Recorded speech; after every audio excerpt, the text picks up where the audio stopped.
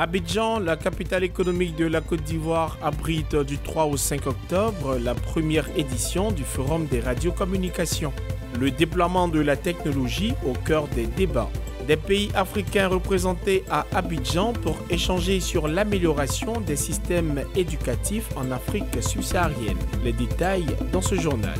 Et puis la 9e édition de la Semaine nationale de la sécurité routière se déroule du 3 au 10 octobre 2023.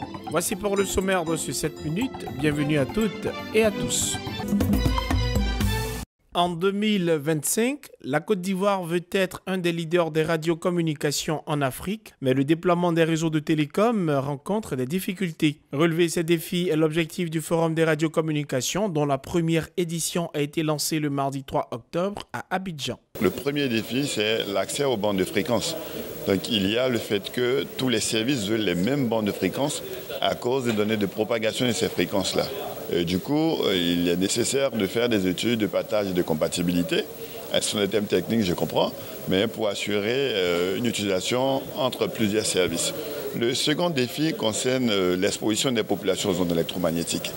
Avec l'avènement de toutes ces technologies radio, les populations baignent dans un environnement électromagnétique qu'il est nécessaire de contrôler, de savoir le niveau d'exposition. La mise en place de la 5G connaît aussi un retard à cause de la rareté des bandes de fréquences dont l'exploitation nécessite une collaboration avec les pays de la sous-région, comme l'explique Gilles Brigand, directeur général de l'Agence nationale française des fréquences, invité spécial de l'événement. L'Union européenne a pris une priorité qui était la mise en place de la 5G très vite après la conférence mondiale des radiocommunications qui a lieu en Égypte en 2019. Et ça a aidé tous les pays de l'Union européenne finalement à se synchroniser pour libérer euh, les fréquences de la 5G et après les mettre aux enchères pour les opérateurs mobiles.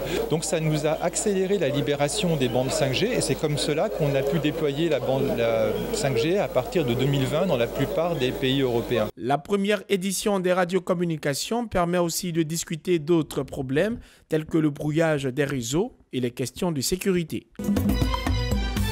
9 enfants sur 10 en Afrique subsaharienne ne savent pas lire. Si l'on veut intervenir pour améliorer la qualité de l'éducation, il faut des données probantes. Dans le but d'avoir ces données, un symposium continental de recherche du programme partagé de connaissances et d'innovation dans le domaine éducatif a eu lieu à Abidjan. Les échanges ont porté sur le renforcement de la production et l'analyse de données pour des systèmes éducatifs résilients, inclusifs et plus performants en Afrique subsaharienne. Nous avons donc décidé de créer les conditions pour que les travaux des chercheurs puissent être effectivement mis au service de la prise de décision en éducation. L'année dernière, euh, on a déjà fait un symposium à, Addis Abeba et aujourd'hui nous sommes dans la deuxième édition. Le premier symposium a permis de faire rencontrer des chercheurs et des décideurs. Aujourd'hui, l'accent va être mis sur les données.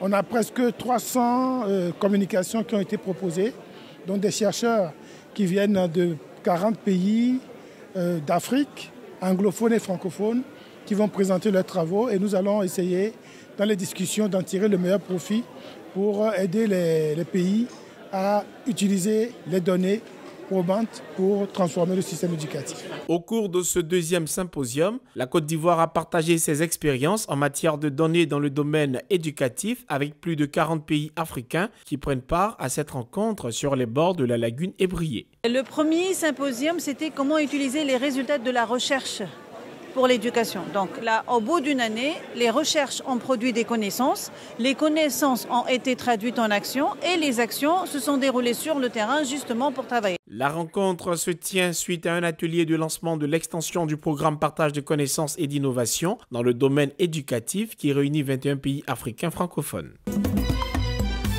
Un temps ensoleillé, des rafales de vent et de la pluie dans une même journée. C'est le triste constat à Abidjan comme partout dans le pays. Pourquoi le climat ivoirien est-il brusquement devenu instable? Réponse avec ce spécialiste qui travaille sur les effets néfastes du dérèglement climatique. Cette modification est due à, des gaz à effet de serre, que nous euh, déployons sur, euh, cette planète. Vous voyez euh, que nous sommes nous sommes dans, normalement, nous ne sommes pas normalement dans une saison pluvieuse, mais vous allez voir qu'il pleut, bizarrement. Et parfois, où nous sommes dans une saison pluvieuse, il y a plutôt la sécheresse. Donc ce sont les, conséquences hein, de façon palpable de, ce changement climatique que nous vivons euh, de, jour, de jour en jour. Il y a donc urgence. Ce passionné de l'environnement propose des solutions et alerte. Lorsque on veut lutter contre le changement climatique, c'est alors de mettre quelques freins ou de mettre un peu de frein à l'industrialisation. Notons que la Côte d'Ivoire compte en principe quatre saisons, dont deux sèches et deux pluvieuses. La lutte contre l'incivisme reprend ses droits sur les routes ivoiriennes. La 9e édition de la Semaine nationale de la sécurité routière se déroule du 3 au 10 octobre 2023. La répression est faite pour les cas de manquement grave à la réglementation en matière de circulation sur les voies routières ouvertes à la circulation publique. La présente opération de sensibilisation est axée sur la cohabitation des usagers dans la circulation pour des routes sûres. Les principaux usagers que nous connaissons sont en général les automobilistes, les utilisateurs des engins à deux roues motorisés, les cyclistes, les piétons et ceux qui y sont assimilés. Donc c'est cet ensemble d'usagers qu'il faudrait amener à cohabiter pour que nos routes soient des routes où il n'y a pas des accidents. Et la cohabitation, qui est donc le partage de cet espace routier, obéit à beaucoup de principes, dont la communication, et notamment des comportements. L'objectif de cette nouvelle opération est de sensibiliser les usagers à plus de civisme à travers le changement de comportement sur les routes, le respect du code de la route, la détention de tous les documents de transport et l'entretien de leurs véhicules. Dans les zones qui sont couvertes par la vidéo-verbalisation, nous connaissons une baisse des vitesses. Nous notons que ce dispositif a contribué à faire baisser la vitesse moyenne dans le Grand Abidjan, qui était de plus de 70 km en 2022, à environ 59 km à ce jour. L'opération mobilise le personnel des forces de sécurité, des agents du ministère des Transports, les organisations de la société civile et des ONG exerçant dans le domaine de la sécurité routière. C'est la fin de ce 7 minutes. Merci de rester fidèle à cette info et cette info.ci.